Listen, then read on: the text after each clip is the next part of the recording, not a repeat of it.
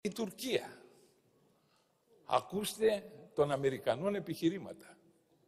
Μη βάλει η Ρωσία τη μύτη της στα Βαλκάνια και μη βάλει η Τουρκία τη μύτη της στα Σκόπια. Πρέπει να προλάβουμε. Και αντί να πιέσουν αυτούς να συμμορφωθούν, ένα κράτος 20 ετών, πιέζουν την Ελλάδα. Μια χώρα με 4.000 χρόνια ιστορία. Αυτή είναι η στάση των Αμερικανών.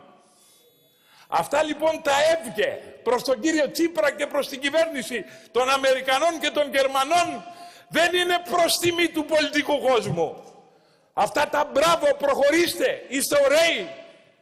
Αυτά δεν είναι προς τιμή.